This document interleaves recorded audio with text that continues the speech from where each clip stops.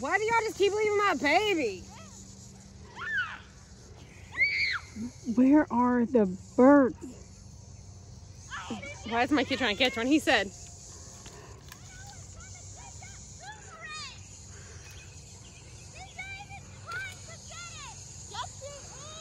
Well, Silas, honey, you could grow up here and get up in that tree yourself.